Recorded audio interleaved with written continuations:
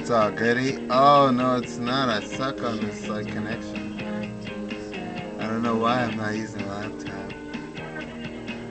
Oh my goodness, I love you guys, but I'm like so sleepy. We got so much fucking work to do tomorrow, and like my mom is so unappreciative, and it's like so much drama going on between me and her right now. Like it's insane. But I just keep trying to be the bigger person. I think if you can work on your problems and at least solve them within yourself, they may not get resolved between you and your parents, but if you can solve them within yourself and acknowledge them and come to terms with them, whether you fix them or not, then you you'll be better off in your life. But if not, you're gonna be one fucked up ass individual. No offense to nobody. I'm just saying,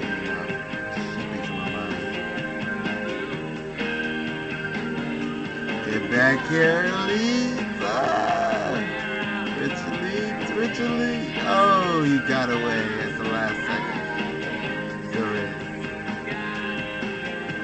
Wow, he's bringing it down real quick from a 20. Oh shit, Chronic.